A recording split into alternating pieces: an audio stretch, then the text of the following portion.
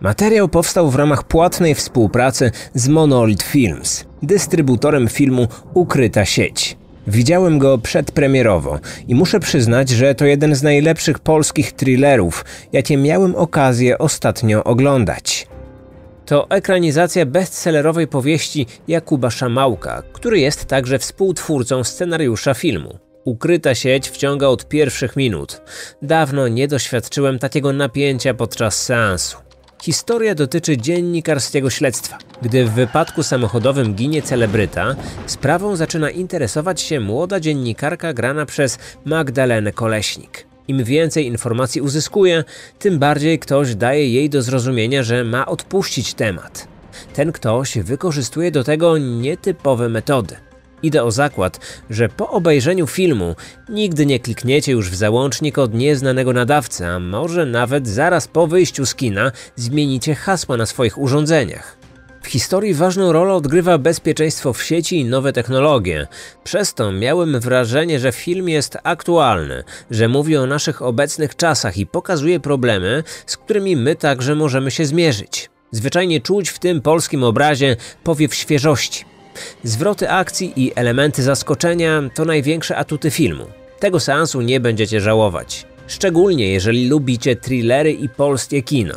Ja tak wkręciłem się w tę historię, że zamówiłem już kolejne części książkowej serii Jakuba Szamałka, aby poznać dalsze losy Julity Wójcickiej, bo ta ekranizacja to pierwsza część książkowej trylogii. Film w kinach już od piątku.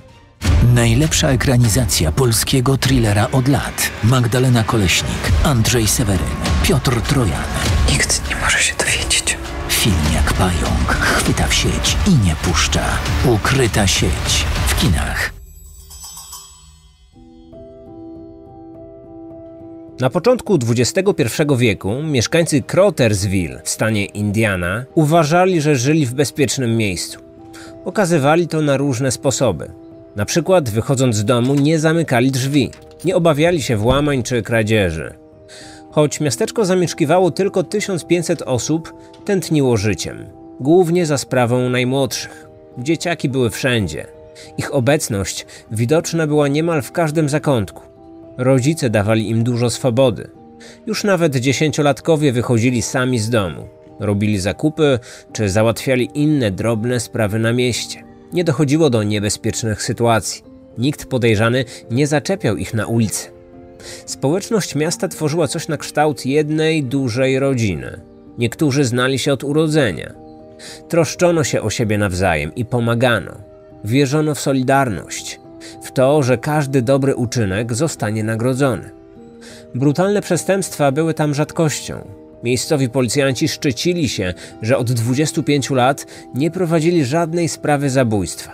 Sen z powiek spędzali im tylko narkomani i dealerzy, ale przez większość czasu ich ignorowano. Udawano, że nie istnieją. Później mieszkańcy mieli wyrzuty sumienia. Czuli się winni. Zastanawiali się, co byłoby, gdyby nie odwracali od nich wzroku. Czy to by coś zmieniło? Czy uniknęliby tej jednej tragedii, dla Katie Coleman i jej rodziny wtorek 25 stycznia 2005 roku miał być dniem takim jak każdy inny. Rano wspólnie zasiedli do śniadania. Potem dziesięciolatka i jej starsza siostra pojechały do szkoły. Młodsza dziewczynka wróciła do domu chwilę przed 15. Po zajęciach zazwyczaj bawiła się z kolegami i koleżankami na podwórku. Łatwo nawiązywała nowe znajomości. Z jej twarzy rzadko kiedy schodził uśmiech. Często wyciągało do innych pomocną dłoń. Rodzice przeczuwali, że pewnego dnia wyrośnie na mądrą i silną kobietę. Miejscowy kościół baptystów, do którego uczęszczała cała jej rodzina, prowadził dodatkowe formy aktywności dla najmłodszych. Rozwijanie swojej wiary, czytanie Biblii, śpiewanie i nauka przez zabawę bardzo ją angażowały. Chętnie w nich uczestniczyła. W tamtym czasie dzieciaki szalały na punkcie seriali Disney Channel. Katie nie była wyjątkiem. Jeśli tylko rodzice jej na to pozwalali, zasiadała przed telewizorem. Jednak tamtego wtorkowego popołudnia nie zrobiła żadnej z tych rzeczy. Nie bawiła się z koleżankami, nie wybrała się do kościoła, nie włączyła bajki. Chciała pomóc swojej mamie. Kobieta na co dzień zajmowała się domem i wychowywaniem dwóch córek. Dziesięciolatka zwykle zgłaszała się na ochotnika, kiedy trzeba było pójść po zakupy. Tym razem w domu zabrakło papieru toaletowego. Matka dała jej kilka dolarów. Sklep znajdował się niecałe dwie przecznice dalej. Dziewczynka dobrze znała drogę. Chodziła tamtędy wielokrotnie. Tylko zazwyczaj zakupy nie zajmowały jej aż tyle czasu. Minęła godzina. Matka zaczęła nerwowo zerkać w okno z nadzieją, że wypatrzy dziesięciolatkę. Kiedy mąż wrócił z pracy, niepokój rodziców wzrósł. Ona powinna być już w domu. Kobieta na początku pomyślała, że dziecko spotkało kogoś po drodze, jakąś koleżankę lub kolegę. Rozpoczęli zabawę i zapomniała o sklepie i papierze toaletowym. Jednak minęło już sporo czasu, zdecydowanie zbyt dużo. Małżeństwo sprawdziło okolice. Odtworzyli trasę, którą córka zazwyczaj obierała. Nigdzie nie było po niej śladu. Przestraszyli się i powiadomili policję. Funkcjonariusze zapytali, czy dziewczynka zaginęła, czy może uciekła. Rodzice od początku nie brali pod uwagę tego drugiego wariantu. Katie nie miałaby powodów. Kochała swoich bliskich, a oni twierdzili, że w ich domu nie działo się nic złego. Poza tym, następnego dnia w jej szkole organizowano imprezę piżamową. Nie mogła się jej doczekać. Ciągle o tym mówiła i planowała, co ubierze. Na pewno nie uciekłaby. Coś musiało się stać. Pytanie tylko, co?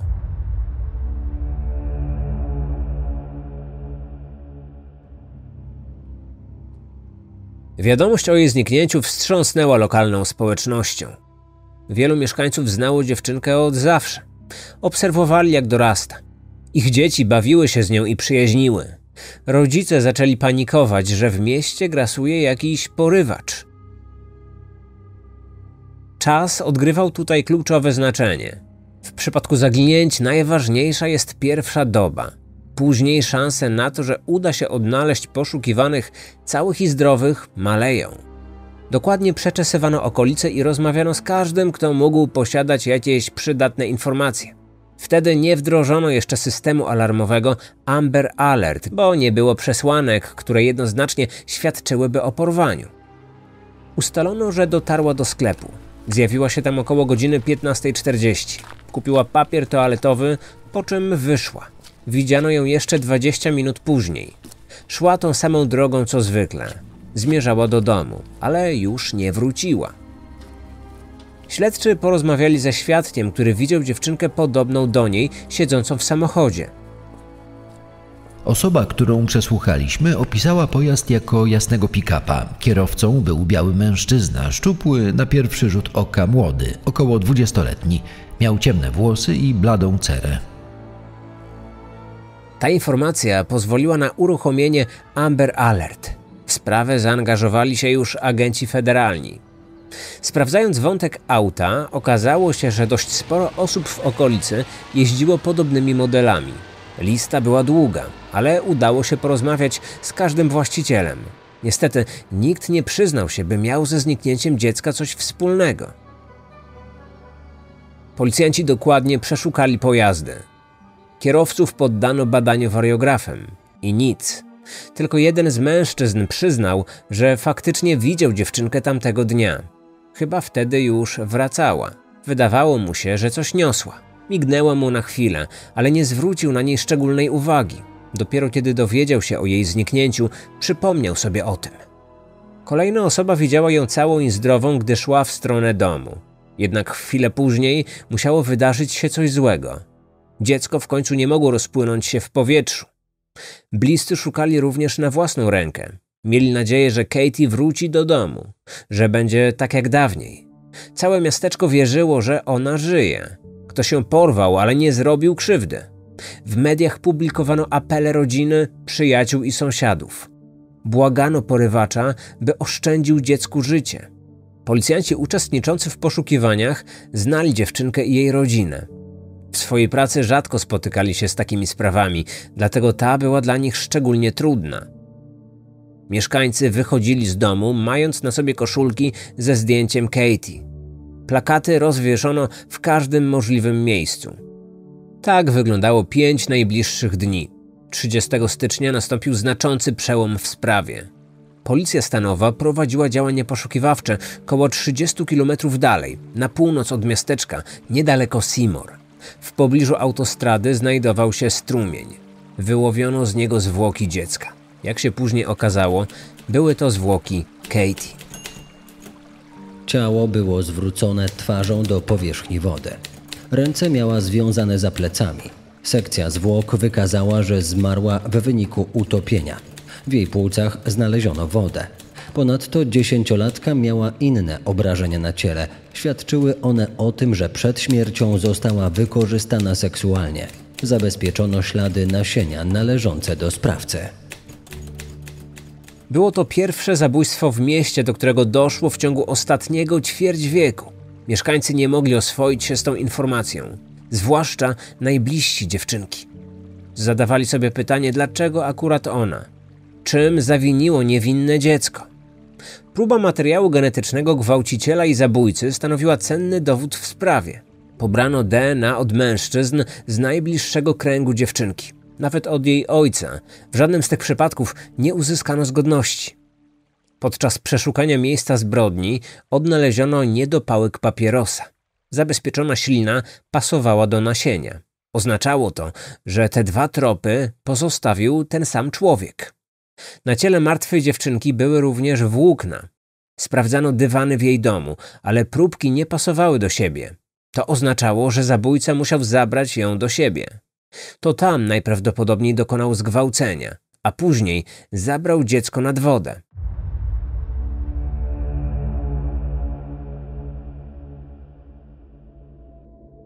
Nagle w sprawie pojawił się nieoczekiwany zwrot akcji. Kiedy policja i FBI intensywnie szukali sprawcy zabójstwa, pewnego dnia na komisariat zgłosił się mężczyzna. Twierdził, że to on. Mówiono na niego Chucky, jednak nazywał się Charles Hickman. To 21-letni mężczyzna znany w okolicy, mieszka tutaj od urodzenia. Chodził do miejscowego liceum, ale wyrzucono go stamtąd. Już wcześniej krążyły plotki, że zajmuje się wytwarzaniem nielegalnych substancji, które także podobno zażywa. Stróże prawa byli zdumieni. Przestępczość narkotykowa to jedno, natomiast porwanie, zgwałcenie i zabicie dziesięciolatki to już zupełnie inna para kaloszy. W dodatku jeszcze sam się do tego przyznał. Czasami dochodzi do takich sytuacji, że przestępcy sami zgłaszają się na policję. Widmo popełnionych zbrodni nie chce ich opuścić, albo po prostu czują potrzebę podzielenia się z kimś tym, czego dokonali. W tym przypadku wydawało się, że mężczyznę męczą wyrzuty sumienia. Charles w trakcie przesłuchania opowiedział, co wydarzyło się 25 stycznia. Kiedy dziewczynka wracała ze sklepu, przechodziła obok jego domu. Dostrzegła scenę, w której uczestnicy biorący w niej udział robili coś nielegalnego, coś związanego z nielegalnymi substancjami. W doniesieniach prasowych dokładnie tego nie sprecyzowano, jednak tak naprawdę mogło chodzić albo o handel, albo o samo wytwarzanie tej substancji w domowym laboratorium. Do tej drugiej wersji skłania wypowiedź matki Katie, która w jednym z wywiadów odniosła się do motywu zabójstwa. Powiedziała, że jej córka pewnie nie była świadoma, co mężczyźni faktycznie robili. Mogła uznać, że najzwyczajniej w świecie gotują. Mimo to podejrzany upierał się, że dziecko przyłapało ich na gorącym uczynku. Każdy w mieście wiedział, czym zajmuje się ten mężczyzna, jednak nigdy nie miał przez to problemów z prawem. Jego kolega również się przestraszył. Wpadli w paranoję. Bali się, że dziewczynka powie o wszystkim swoim rodzicom, którzy następnie doniosą o tym na policję. Nie mogli do tego dopuścić. Dlatego zrobili pierwszą rzecz, o której wtedy pomyśleli. Dopadli ją. Nie pozwolili wrócić do domu. Skrępowali jej ręce. Pomyśleli, że w ten sposób ją wystraszą. Tak naprawdę nie chcieli robić jej krzywdy. Po prostu planowali zafundować jej spory szok, tak żeby trzymała język za zębami. By jeszcze bardziej podkreślić swoją groźbę, wywieźli ją nad wodę. Pojechali tam samochodem należącym do kolegi. Podejrzany podkreślił, że nie zaplanowali zabójstwa. Po prostu nagle niektóre rzeczy wymknęły się spod kontroli. Byli zdenerwowani i pod wpływem narkotyków, a ona nagle wpadła do wody. Charles nie miał pewności, co konkretnie się stało. Jedna z jego wersji głosiła, że dziewczynka próbowała uciec. Zaczęła się z nimi szamotać, jednak ze skrępowanymi rękami nie miała szans. Skończyło się to tragicznym wpadnięciem do wody. Później twierdził, że w sumie to mógł ją tam wepchnąć. Hickman został aresztowany. Policja ujęła jeszcze 22-letniego Timothy'ego O'Sullivana, który prawdopodobnie był jego kompanem. Oprócz tego do aresztu trafił pewien 17-letni chłopak, którego personalia nie zostały ujawnione. Nie zdradzano również jego roli w sprawie. Jednak w internecie można natknąć się na spekulację, że chodziło o złożenie fałszywych zeznań.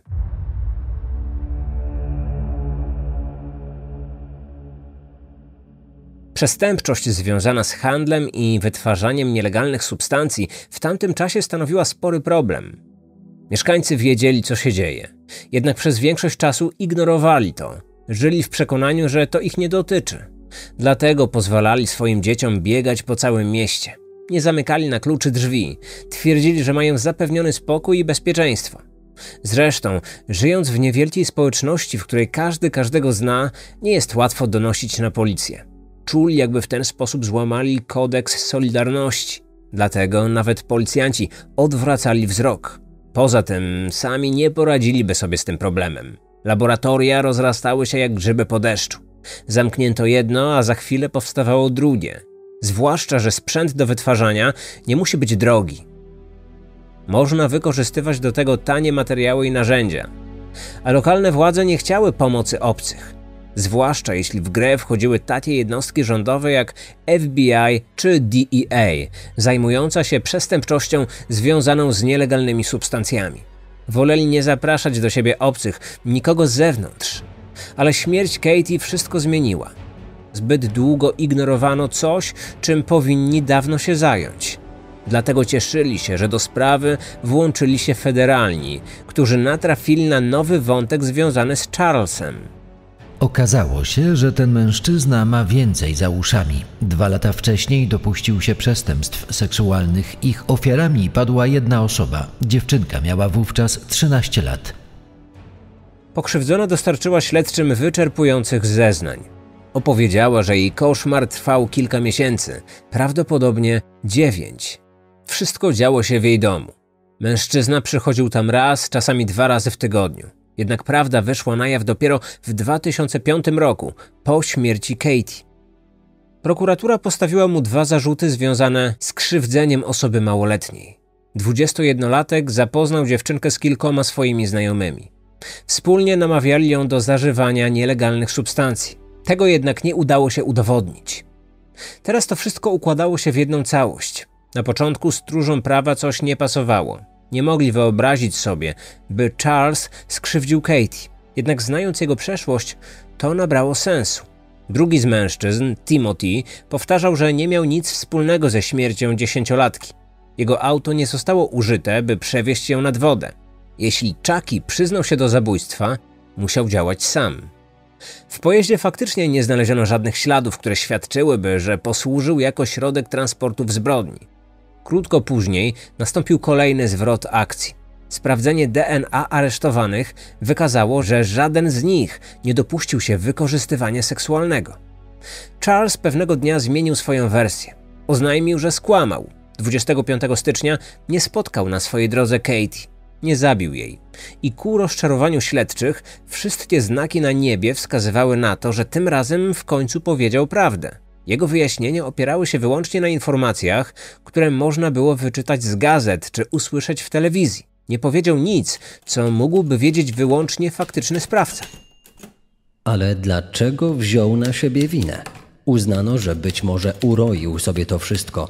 Pod wpływem społecznej presji, by rozwiązać zagadkę, wmówił sam sobie, że to on Ogromną rolę w tym wszystkim odegrał jego nauk narkotykowy, który odebrał mu możliwość odróżnienia rzeczywistości od wyobraźni. Śledczy nie odpuszczali. Szukali kolejnego podejrzanego. Postanowili skupić się na tym, co już mają. Uznali, że kluczem do wszystkiego może być ten niedopałek papierosa. Pobrano z niego silne zabójcy. Choć sprawdzono materiał biologiczny sporej grupy mężczyzn z miasteczka, nic to nie dało. Detektywi po kolei wykreślali nazwiska ze swojej listy. W końcu postanowili spojrzeć na ten trop z nieco innej strony. Ustalono markę papierosów i wtedy dostrzegli szansę. Okazało się, że nie sprzedawano ich w każdym sklepie. W okolicy tylko w kilku miejscach można było je kupić. Wobec tego porozmawiano z właścicielami i pracownikami tych lokali. Chcieliśmy, by powiadomili nas, gdy tylko ktoś zrobi u nich właśnie takie zakupy. Nie musieliśmy długo czekać. Niedługo później otrzymaliśmy telefon, który dał nam nadzieję, że w końcu rozwikłamy sprawę. W sklepie zjawił się mężczyzna, który chciał te konkretne papierosy.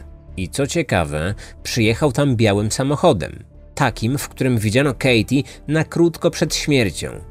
Czy mógł to być przypadek? Sprzedawca zapisał numer rejestracyjny pojazdu i podał go funkcjonariuszom. Sprawdzono nazwisko właściciela. Nazywał się Anthony Stockelman. 38 lat, żona i dwoje dzieci. Mieszkał w Seymour, około 25 km od Crotersville. W dodatku niedaleko miejsca wyłowienia ciała. W rodzinnym mieście Katie dom miała jego matka. Od czasu do czasu ją odwiedzał. Przyjechał tam również 25 stycznia 2005 roku. Był właścicielem białej furgonetki. Policja przesłuchała go na wczesnym etapie śledztwa. W prasie można znaleźć informacje, że mieli co do niego już wtedy pewne podejrzenia. Jednak nigdzie nie sprecyzowano, na czym polegały. Przyznał, że widział dziewczynkę idącą chodnikiem. Jednak twierdził, że nie wiedział, co się z nią stało. Wówczas nie sprawdzono jego DNA. Wobec braku dowodów znalazł się poza kręgiem zainteresowania. Aczkolwiek gdy kolejny trop zaprowadził śledczych pod jego drzwi, poproszono go o próbkę materiału biologicznego do badania. Mężczyzna nie był zadowolony, ale ostatecznie nie robił wielkich problemów. Twierdził, że i tak nie ma nic do ukrycia. Wyniki wykazały coś innego. Potwierdziły, że to jego ślina znajdowała się na niedopałku papierosa i że to on zgwałcił Katie przed jej śmiercią. Został oskarżony o morderstwo. Mieszkańcy spokojnego na pozór miasteczka odetchnęli z ulgą. Cieszyli się, że sprawa niebawem znajdzie swój finał. Satysfakcjonowała ich także myśl, że oprawcą okazał się ktoś obcy. Choć Antoni mieszkał niedaleko i miał tam rodzinę, nie był w końcu jednym z nich.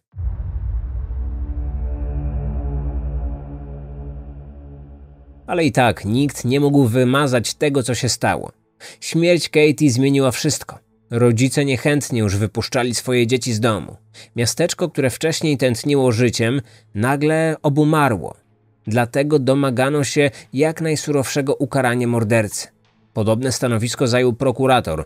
Wniósł o karę śmierci. Mężczyzna na początku twierdził, że jest niewinny. Nie zabił, nie zgwałcił. Zaprzeczał jakiemukolwiek udziałowi w tej sprawie. Dowody jednak prezentowały zupełnie inną tezę. Ślady wyraźnie wskazywały, że był na miejscu zbrodni.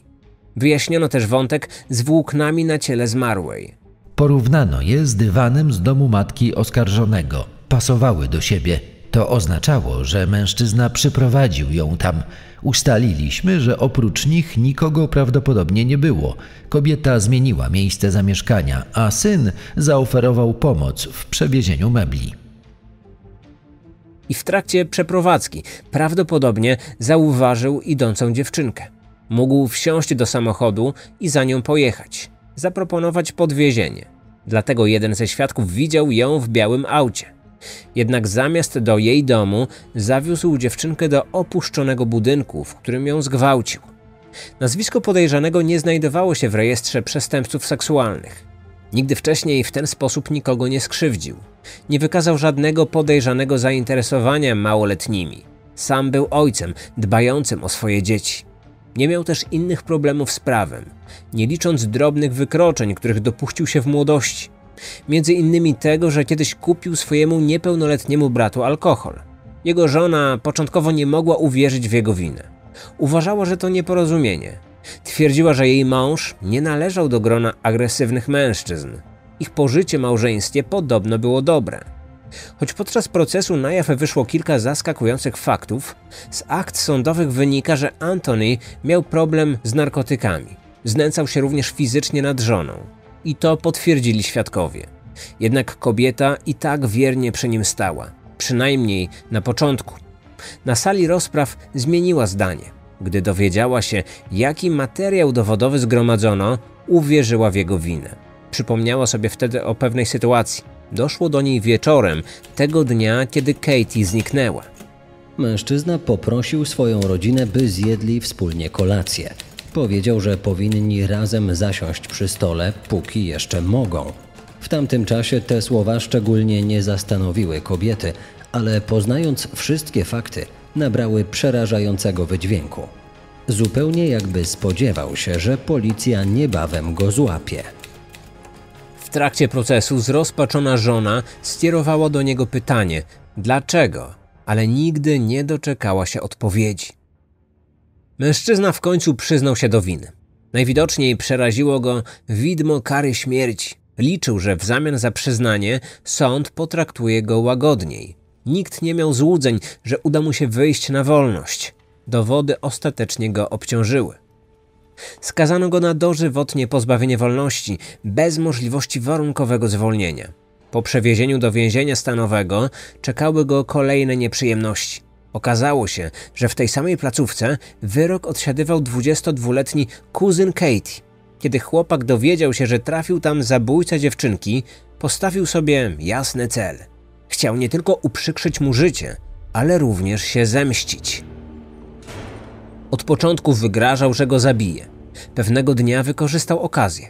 Wślizgnął się do jego otwartej celi. Miał przy sobie prowizoryczny pistolet do tatuażu. Zaatakował i wytatuował na jego czole następujące słowa: Zemsta Katie. Krewny zamordowanego dziecka twierdził, że postawił mu ultimatum: albo zgodzi się na tatuaż, albo spotkają go kolejne napaści i ataki. Za ten incydent został surowo ukarany. Do jego wyroku dołożono kilka kolejnych lat. Sam Antoni powiedział, że chłopak z nienacka chwycił go za gardło, a następnie powiedział, że go zadźga i zabije. Władze więzienia wydały decyzję, że ze względów bezpieczeństwa poszkodowany w tym przypadku skazaniec zostanie odizolowany od reszty. Obawiano się, że inni więźniowie podjęliby próbę zrobienia mu krzywdy. W końcu tacy przestępcy spotykają się ze sporym ostracyzmem nawet ze strony innych przestępców. Do więzienia sprowadzono specjalistę, który zajął się usunięciem tatuażu z czoła. Ta sytuacja dobiła Antoniego, zwłaszcza, że decyzją sądu miał już nigdy nie opuścić swojej celi. Wkrótce jego adwokat złożył apelację. Próbowano wykazać, że wyrok dożywocia bez możliwości warunkowego zwolnienia jest nieodpowiedni i zbyt surowy. Podano ku temu cztery argumenty. Po pierwsze, wcześniej nie miał problemów z prawem. Po drugie, zbrodnie popełnił pod wpływem silnych emocji. Zostały one wywołane traumatycznym przeżyciem. Kilka miesięcy przed morderstwem zmarł jego ojciec, z którym był zżyty. Po trzecie, przyznał się do winy, co sąd powinien potraktować jako okoliczność łagodzącą. Zapomniano, że tak już przecież się stało, bo ostatecznie zrezygnowano z kary śmierci. I po czwarte, wysunięto twierdzenie, że taki wyrok będzie mieć negatywny wpływ na relacje skazanego z jego dziećmi. Sąd odrzucił każdy z tych argumentów i podtrzymał wymierzony wcześniej wyrok. Mężczyzna obecnie przebywa za kratkami. Choć nie brakuje zwolenników teorii, że tak naprawdę jest niewinny. Czasami można trafić na informację, że przyznał się tylko dlatego, by uniknąć egzekucji. Takiego zdania są bliscy mężczyzny, którzy w jego imieniu prowadzą bloga. Podobno Antoni przyznał się tylko dlatego, aby uniknąć egzekucji. Uważają, że śledczy go wrobili. Na początku śledztwa policjanci przeszukali jego samochód. Niektórzy wierzą, że właśnie wtedy pozyskano jego DNA i podrzucono na miejsce zbrodni. Zwracają uwagę, że skazany nie pasuje do opisu mężczyzny, z którym widziano Katie. Miał to być ktoś młody, około dwudziestoletni, a on dobiegał wtedy czterdziestki.